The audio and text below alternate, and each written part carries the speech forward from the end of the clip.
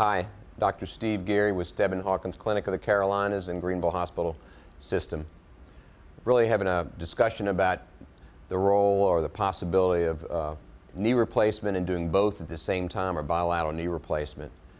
Um, this has been done probably for over 20 years. Um, our current criteria are partial patient selection. Patients have to want to do both.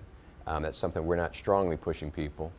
Um, if people do have a severe amount of uh, contracture, let's say flexion contracture where they stooped over with their gait, um, we may want to, uh, that may be a relative reason to do both at the same time. But for the patient who wishes to do both at the same time, we would, we would certainly want the patient to uh, be in a category where they would want to do that themselves.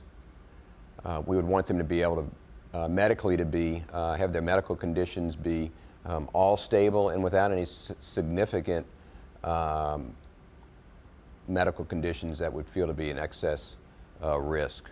So those may be relative. Um, we'd want them to be able to do the rehab. Uh, certainly it's, it's more work in the short term uh, and doing both at the same time um, and to have a good family support to be able, to do that. There are some improvements today that um, make this different than maybe 20, 15 to 20 years ago. Um, one is uh, how we do the surgery and trying to do that with a little less uh, risk biologically. Uh, certainly we've come a long way with what we do with um, blood conservation and um, blood control at the time of surgery and people's need for transfusion is dramatically changed.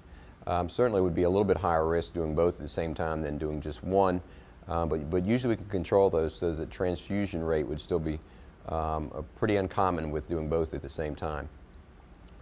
Uh, we have some technical things we can do we think are, make it less of a risk.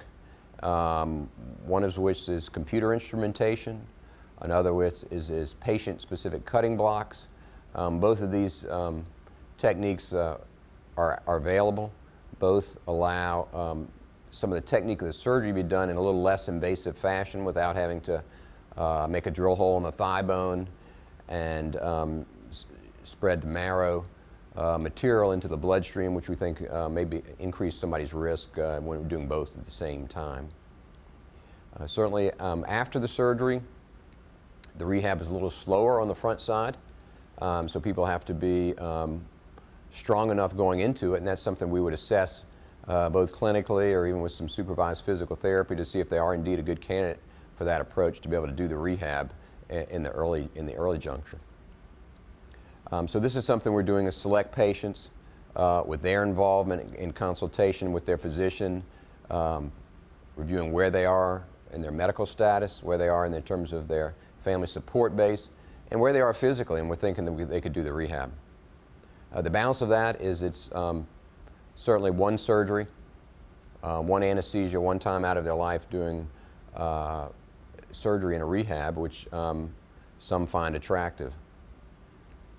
The cons are just a little slower on the front side and um, definitely requires more, more work and a stronger constitution probably going into it kind of thing.